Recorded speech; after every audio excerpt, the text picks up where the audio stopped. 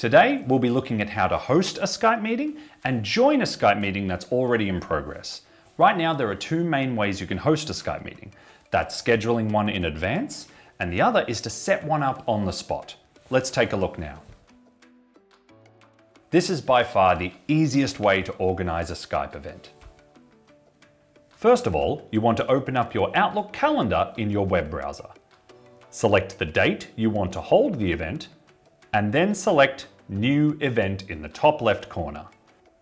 Now you'll see a bunch of fields for your meeting information, such as a title, who you wish to invite, and if you look down a little further, you will see the option to Add Online Meeting, which is how you turn your event into a scheduled Skype meeting. From there, you simply search for and add the rooms and locations where any people will be joining the Skype meeting as required.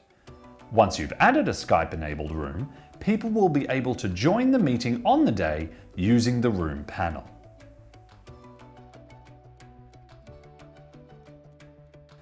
And if you're using the desktop version of Outlook, you can simply create a new Skype meeting at the top and invite the desired spaces by selecting the Rooms button here.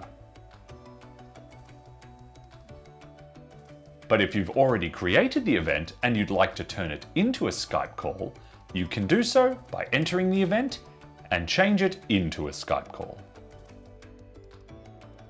Now that your Skype meeting has been scheduled, when entering a room, just take a look at the panel, find your event, and select the Join button.